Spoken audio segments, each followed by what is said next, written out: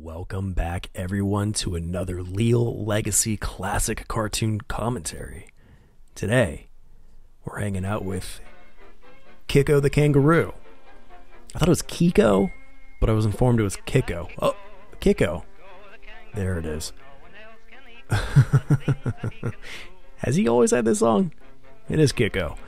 In the Foxy Fox, otherwise known as Kiko Foils the Fox from 1936. October 2nd, 1936, to be precise. Look at this guy. Look at this. Kiko's got that, that same Oswald and Flip sort of charm, you know what I mean? Got some Bosco in there too. I can see Bosco having this kind of spunk. Look at this. Everyone's on board for this little tune. I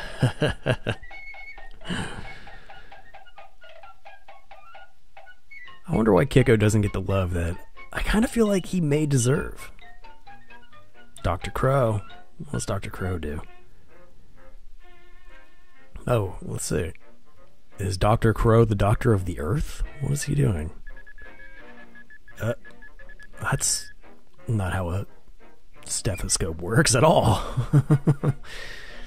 Uh, I'm having a hard time believing you're a doctor, Mr. Crow. Look at this. You know, it was all a ploy to get some something to eat, wasn't it? Of course it was. And you had Kiko lure the poor little worm out of the ground? What kind of arrangement do you two have? Yeah, this is why you chew your food. Come on, man. it serves you right. Fake doctor. Alright. Now where to, Kiko? What are we doing now? Where's this fox that I hear about? What did that bird what has that bird got? Is he kind of like a Oh, golf golf can? hey. Now, what if Kiko wasn't there? Did that bird bring, I guess, grapes? Was he always intending on using grapes? Do they have this? There's the fox. Do they have this arrangement where, like, hey, I'm going to show up to this wall every day and we'll be like, oh, cool, I'll bring you some grapes? I bet he'd have an Australian accent, though. Kiko. Is that presuming too much? Kangaroos are from Australia, so I would imagine. That's very. Are those his kids? Is this like a family game they do?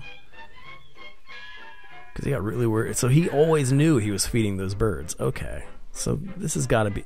There's a lot more birds all of a sudden.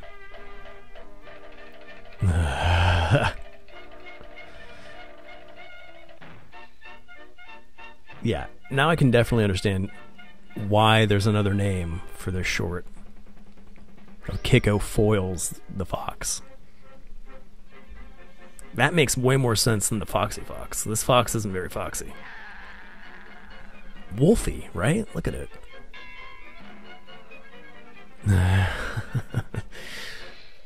Ouch. Is that his house? Well, at least he made it home.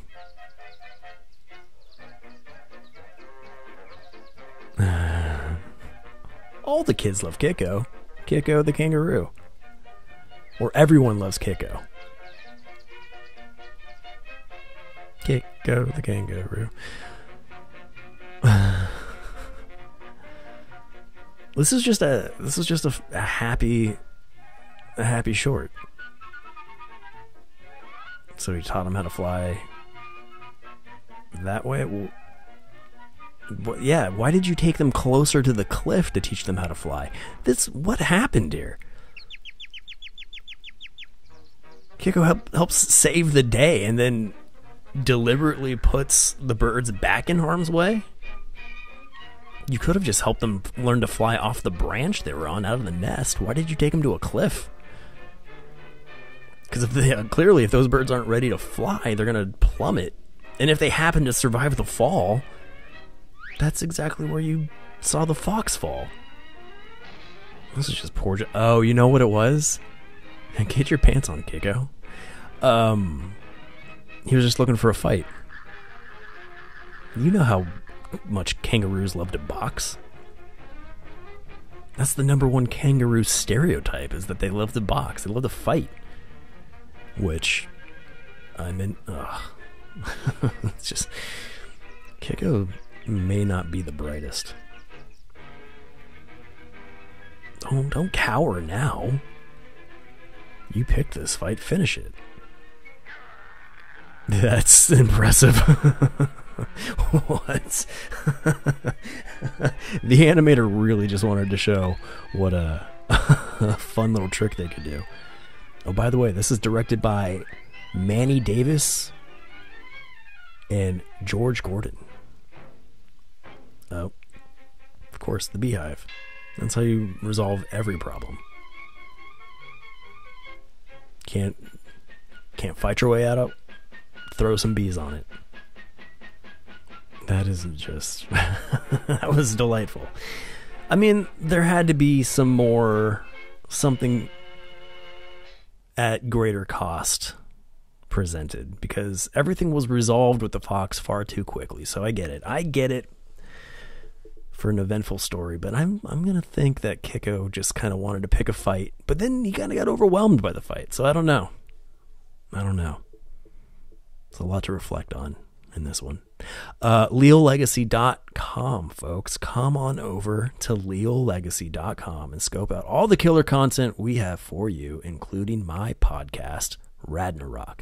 Leal Legacy's Radnarok, available across all your favorite podcast platforms. Currently, I'm doing watch along commentary podcast to all the Disney animated classics uh, and I'm doing companion podcasts to those watch alongs called Radnarok Retrospective, where I tell you everything you didn't know you wanted to know about each of those films. So join you, join me, join you, join me, won't you? I botched that.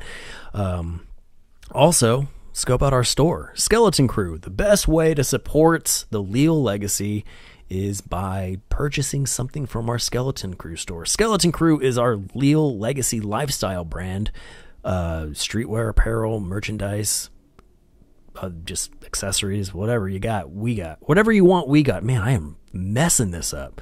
Uh, LealLegacy.com slash shop. Oh, a professional would go back and re record this, but I'm not. I'm not a professional. I'm just me. Hopefully, you're inspired to go to skeletoncruebrand.com and still like, comment, subscribe, hit that ding dong notification bell. You can find Leal Legacy across all your favorite social media platforms at Leal Legacy. And as always, folks, thanks for being a friend and telling a friend. And I mean that. Thank you. Because after this performance, sheesh.